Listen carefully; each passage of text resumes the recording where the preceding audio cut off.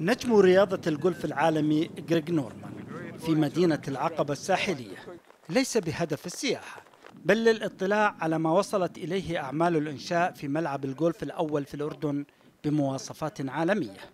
فالنجم الأسترالي يعد أحد أشهر مصممي ملاعب الجولف في العالم. The um, golf course here at Isla um, is probably one of the top three, if not the number one in the world, for its sensitivity to the environment, um, for the way they're using uh, recycled water, the way they're using renewable energy. Um, I have not seen a project that I've been involved with anywhere else in the world to the magnitude of what they're doing here at Isla. الملعب المحاذي لشاطئ البحر الأحمر حاز على إعجاب الجميع باعتماده على الطاقة البديلة والخلايا الشمسية لتوليد الطاقة واستغلالها في ري المسطح العشبي ليدخل قائمة الملاعب الصديقة للبيئة.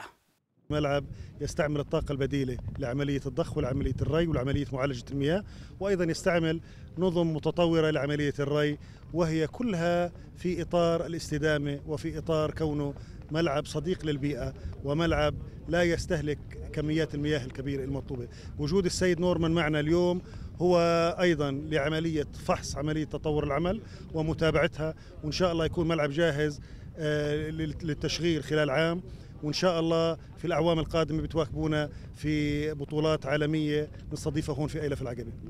البعد الاقتصادي للمشروع لا يمكن اغفاله فالملعب يعد نقطة جذب سياحية واقتصادية لمدينة العقبة.